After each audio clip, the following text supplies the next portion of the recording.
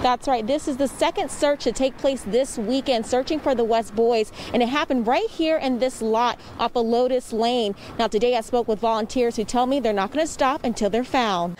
We never know if this is going to happen to us, in our family, to our neighbors, to our friends. So right now it, it has to be everybody we have to help each other. On sunday 60 volunteers in bakersfield conducted a second search party held this weekend for california city missing toddlers Orson and Orrin West. The toddlers were last seen, according to their adoptive parents, in their backyard in California City on December 21st.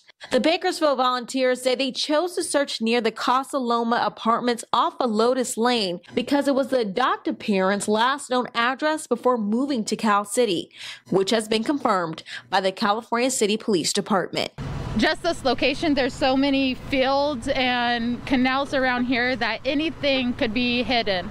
Like I said, we don't want to leave any crucial evidence, possible evidence out there, you know, could possibly find the kids. During a span of over two hours, volunteers explored the empty lots near the apartments, digging through weeds and trash looking for anything leading to the boys. The search had a similar system to the one held in Cal City on Saturday, where volunteers would wave down each other if they found something of interest and then take a picture to be shared with law enforcement later. One volunteer says she's here because she couldn't sit around any longer.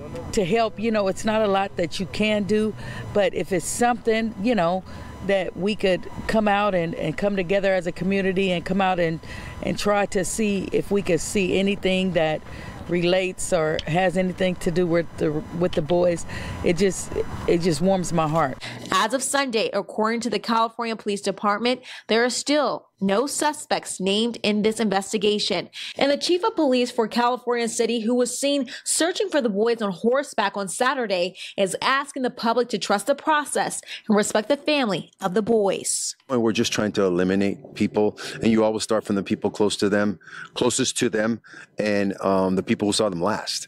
So, have we questioned them? Absolutely. Have we searched the house? Absolutely. The backyard? Absolutely.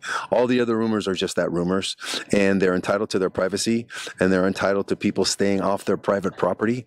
And again, this was a community held search party, and I'm told there will be others in the future. And if you